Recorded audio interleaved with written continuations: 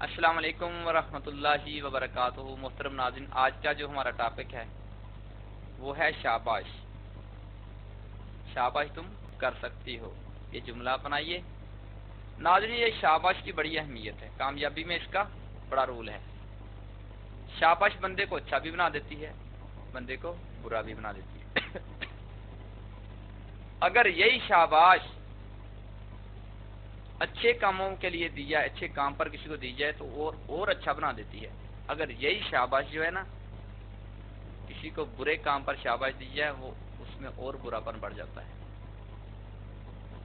یہ شاباش جو ہے نا، شاباش جیسے گاڑی میں پٹرول ڈالتے ہیں تو گاڑی چلتی ہے، ایندھن ڈالتے ہیں تو فیول ہے۔ جیسے گاڑی کے لیے پٹرول فیول ہے، اسی طرح شاباش کامیابی کا فیول ہے، ترقی کا فیول ہے۔ جب تم کسی کو شاباش کہتے ہو، شاباش دیتے ہو، تو اس کے اندر جذبہ پیدا ہوتا ہے۔ اگر اس نے آج، اگر کوئی ٹیچر ہے، اس کو اپنانا چاہیے کہ شاباش کا یہ فارمولا ضرور اپنانا چاہیے۔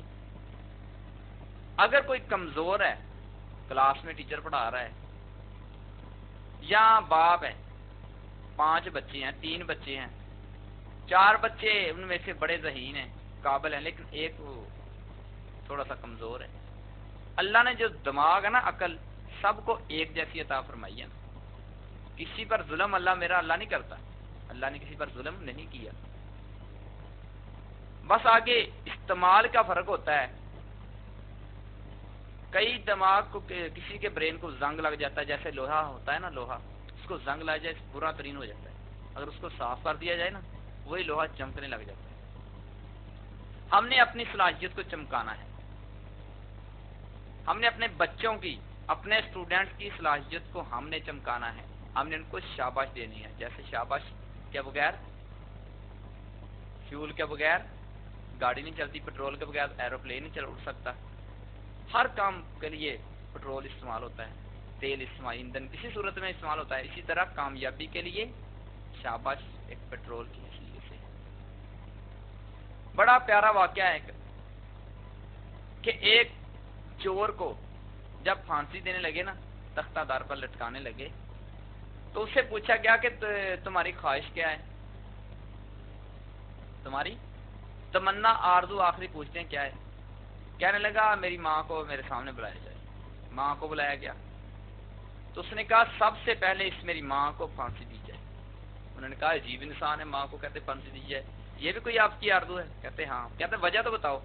کہتا وجہ یہ ہے کہ جب میں چھوٹا سا تھا، اسکول میں پڑھتا تھا فائیو کلاس تھی، میں نے ایک دن بچے کسی کا شارپنر لے کے آیا گھر میں۔